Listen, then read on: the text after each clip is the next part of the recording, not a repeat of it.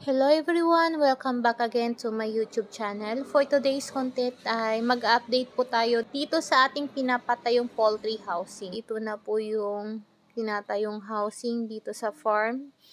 Ito na yung nilalagyan natin ng hollow block nung nakaraang vlog natin. Ito po ang magiging lagayan ng tubigan ng mga alaga nating ito. Dito sa pinaayos naming tubigan ng mga alaga nating itik in the future ay maglalagay po kami dyan ng rampa at yung sa ilalim ng rampa ay maglalagay din po kami ng flooring para hindi po doon maipon ang mga dumi ng mga itik na aapak doon. So ito na po yung pinakabubong natin dito sa pinapagawa nating housing ay may mga nakasampa na po yung mga kawayan na siyang hahawak po sa yero. So akyat po ako mamaya sa taas para ipakita ko sa inyo yung pagkaayos niyan, yung pagkasampa ng kawayan sa taas. Inaayos na nga rin po namin ang paliguan ng mga itik at mas mahaba ito kumpara po sa una naming ginawa. At ito po mga kakabsat ay hahabaan pa namin.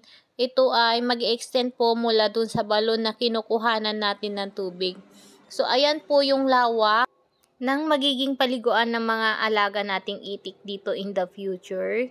Bali, nakita kasi namin mga kakabsat na napakahalaga na hindi po magkulang sa water source ang mga alaga nating itik dahil nakasalalay ang magandang production ng mga itik sa tubig at pagkain. Once na kinulang or napabayaan sa tubig ay napakalaking decrease nito sa egg production po nila. Kaya kung sakali mapabayaan po namin na hindi malagyan ng tubig yung kanila inuman. Diyan po sila maaaring uminom. Kaya hinabaan na po namin sadya. Ito yung pagkagawa ng liguan ng alaga nating itik. Ayan, mababaw lang po yung hinukay nila at bali tatlong patong lang na hollow block na sunod-sunod para mababa lang din po at maglalagay pa rin po kami dyan ng rampa para makaakyat po sila para para hindi po masyadong mataas yung rampang gagawin natin. So, ayan. Katulad pa rin po ito ng una naming liguan. Ang kaibahan nga lang po nito ay mas mahaba na po siya. Pero yung lawak at lapat, same pa rin po. Mahaba nga lang po talaga siya. So, bali yung mataas po niya ay pumapatak po yan. Pumapatak. Bali, apat na patong sa labas. Bali, hanggang sa ilalim limang patong na po siya at pininish po siya ng asin makinis. At ito naman ang corner ng magiging liguan ng alaga nating itik. Ayan, mataas din po. At yung mababang portion po niya ay yun na po ang magiging palatubigan ng alaga nating itik. So, magti-drain po dyan ang tubig kasi nga ipo-flooring nga po namin yung rampa ng inuman nila. Umakyat na nga pala ako sa taas para maipakita ko sa inyo yung aura ng pagkakaayos ng kawayan dito sa taas at ang pagkakahawak ng bakal dun sa kawayan. So, si kuya ay naglagay ng pako. Ayan, oh. Para humawak din sa pinold niyang, anong tawag niyan? Basta yung bakal na yan. Mahirap pag walang alam. Ganito nga ginawa ni kuya ang pagkakakapit ng mga kawayan dito sa taas. At medyo hindi medyo talagang eksperto po siya pagdating sa paggawa niyan, pag-ayos ng kawayan.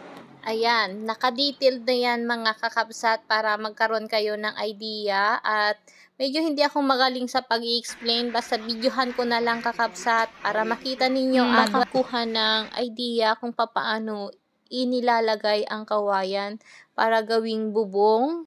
May mga kulang pa po yan kakabsat sa kawayan na nilagay at hindi naman po natin kayang sabay-sabayin. So, mag-update po ako ulit kakabsat. Bakal na yon yung nakikita yung dalawa, yun yung ano, pinagkastida. Hmm.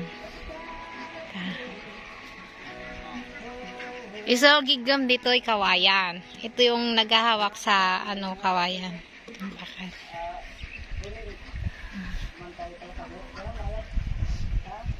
Malapit na pong matapos ang bubo. Shout out kay Manong Dani Taguba Barasi nga ad J Saudi itata agyaman nakti kanayon nga pinagpuyam ditoy channel ko ket sapay kumata kanayon ka nga agan anad dita ayan mo. Mapadigerget ito mo gayam ti umulit ti tuktok. May hagdan naman guys. Oh, bangad tayo lang bangad. Nagalaing tayo ngagbangad. Wa ba di bangad doon? Pabuton. Ito. Tata, tikwan. Bangad. Bangad nga tao. At ito yung mga alaga nating itik dito sa farm. Ayan, magaganda pa rin naman po sila hanggang ngayon kahit na matanda na po ito. So ito yung sinasabi ko kakabsat, yung inaapakan nila dyan sa inuman ng itik ay babaguhin po namin ang setup sa bagong housing na ginawa namin. Dahil ah, naiipon po doon sa ilalim yung lahat ng dumi nila. So, yun po ay i-improve po namin. Ito yung mga update sa alaga natin at hindi ako gaano magbibigay ng empo. Pero, basta okay pa rin po yung production ng mga itik na to at maganda pa rin po sila. Hanggang dito na lamang po ang vlog natin ngayon. Thank you for watching and ingat po tayo palagi. God bless you. Bye-bye!